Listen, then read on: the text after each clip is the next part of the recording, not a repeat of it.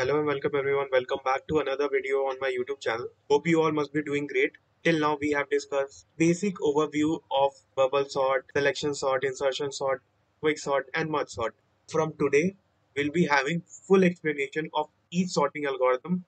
In this video, we'll be covering various aspects of bubble sort such as its working analysis, how it is coded, its coding part. We'll be doing the coding part in both Java and Python language. So you'll learn how to code it in both the languages. And thirdly, what optimizations we can do to make it more efficient. So that is the agenda for the day. So let's get started.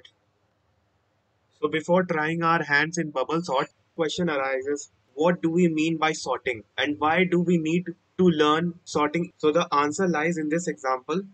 So here first row is an unsorted array and the second row is a sorted array. Here you can see that we are having elements arranged in unsorted manner. They are not following a proper order. And after applying bubble sort, the result we're gonna have is that all the elements would be arranged in ascending order in a sorted manner, right? So this is the outcome of applying bubble sort or any sorting algorithm. Now let's understand what is bubble sort and try to understand its working. So bubble sort is one of the simplest sorting algorithms. It works by repeatedly swapping the adjacent elements that are out of order until the entire array is sorted. So this is a very important line, repeatedly swapping adjacent elements. This is the core working of bubble sort. Whenever we are having elements out of order, as you can see here, swapping is performed. Let me make you understand this with the help of our previous example. Let's go back to the previous slide. Here you can see this unsorted array. So let's pick the first two pairs 10 and 60. They are forming ascending order, right? 10 is less than 60. So this pair is following ascending order. So we don't need to swap them. We only need to swap those elements that are out of order. So now let's move on to the next two pairs 60 and 30. Are they out of order? Yes, they are out of order because they are not following ascending order. 60 is greater than 30. So we would be swapping both of them. They would be interchanging their respective places. So this is the core working of bubble sort. We go on comparing pair by pair from left to right until the entire array is sorted, right? See, this is exactly what has been written. The algorithm passes through the array from left to right comparing each pair of elements and swapping them if they are in wrong order. This process is repeated until no more swaps are needed. Let me give you a brief example. Let's take two pairs A1 and A2. So these are the two pairs A1 and A2. So to be in correct order, that is in sorted order, A1 has to be less than A2. And if A1 is greater than A2, then both of these elements are going to be interchanging their places, right? Let's look at the condition that we're going to apply. If A1 is greater than A2, this is our condition for wrong order, then we need to swap them. So what would happen after they interchange their positions? This is the order that we would be getting. A2 followed by A1 if this condition is satisfied. So with this, with this you have got got a brief understanding about what do we mean by repeatedly swapping the adjacent elements. Let's understand how it works and after this I'll be showing you the entire sorting process of bubble sort step by step on notepad. So these are the steps involved in so these are the steps involved in working of bubble sort. First of all, start at the beginning of the list. Here beginning means from the left side of the array. Compare the first two elements. If they are out of order, swap them.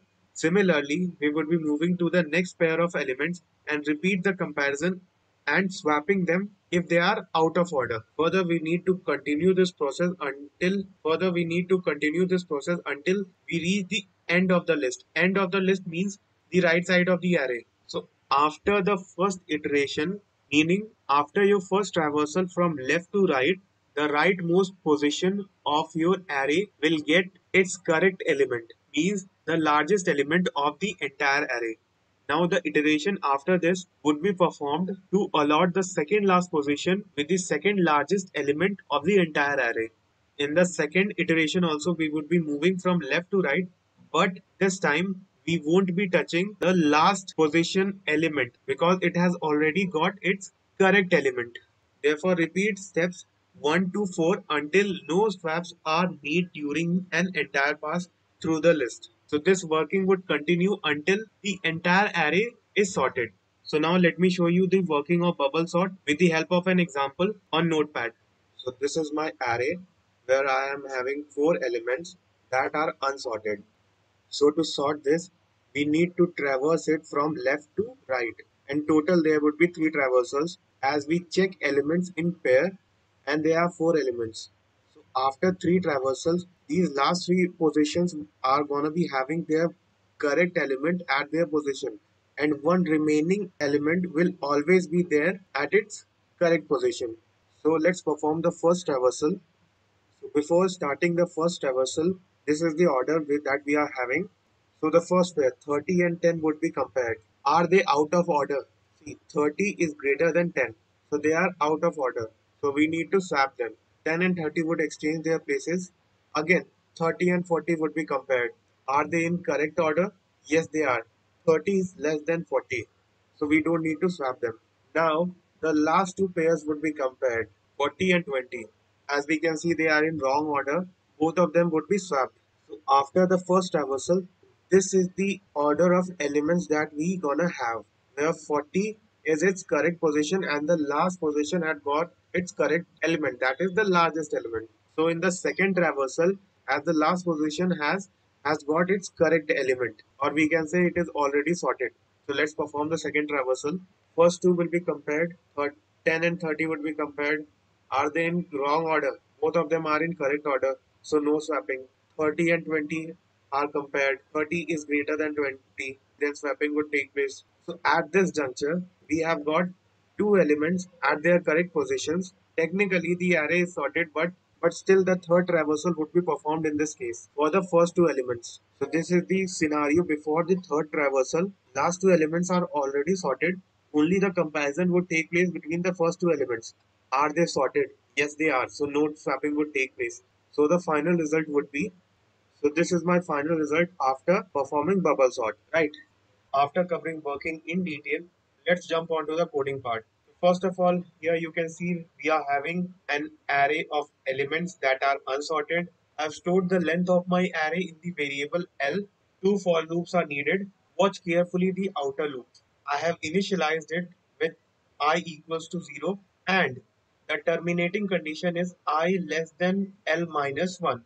So the first question that should come into your mind that why I have taken L minus 1. Remember when I was discussing on notepad for four elements. So whatever number of elements we are going to have in our array, the termination condition of the outer loop would be L minus 1, which is length minus 1. And the last is the updation statement i plus plus. So this is the logic behind the outer loop. Let's cover the inner loop. Here you can see we have taken int j equals to 0, meaning the starting value of j will be equal to 0. And the termination condition that we are having is j is less than L minus i minus 1.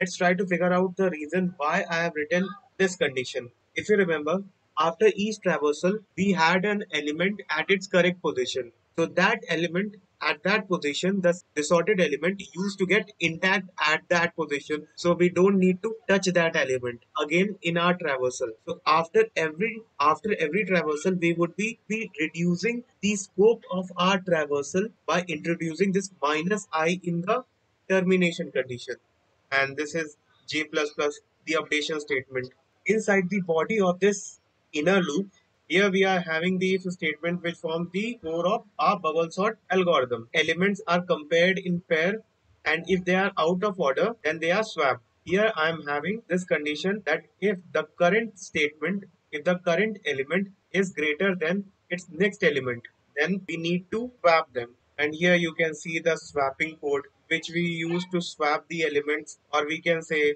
elements exchange their positions with the help of this code.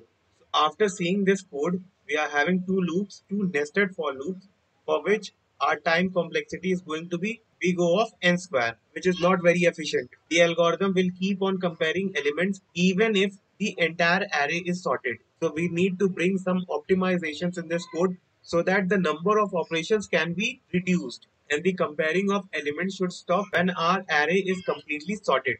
Let's see what changes we can bring. So these are the changes that are needed to be brought to make this algorithm more efficient. I'm having a flag variable. Default value is false. And before starting the and before starting the outer loop before every traversal its value is going to be false. And whenever a swapping would take place in that traversal we would make the value of flag equals to true. But what if the array is already sorted? If after any traversal our array becomes sorted so this condition would never be true for a sort for a sorted array, meaning this flag variable won't be having its value as true. So noticing this, this if statement which is having a condition flag equals to false would make this entire nested loop to break, thereby reducing the number of operations of our bubble sort, right? In the previous code, the best case time complexity was also big O of n square and the worst case time complexity was also big O of n square. But after introducing these optimizations in our code, the best case time complexity of this code is now is now big O of n and this time complexity would occur if our array is already sorted. So let's see our Python code the same thing that we have done in the Java code. Here I am having list of elements that are unsorted. Variable L which would be storing the length of A. Two loops are there. One outer loop, one inner loop. A flag variable. A flag variable which would be checking whether whether my list is already sorted or not. If it is already sorted, then the loop would break, right? So now let's code it and see whether it produces the correct output or not. So this is my Java code. One correction that I have made over here is that I have taken this if statement outside this for loop. It has to be inside this outer for loop and outside this inner for loop, right? This is one correction that is needed. And finally, I have printed this. Let me now run it and see its output. This is the output, which is sorted ascending order. So this is the Python code, what we have just discussed. Now I'll be running it and seeing whether it produces the correct output or not.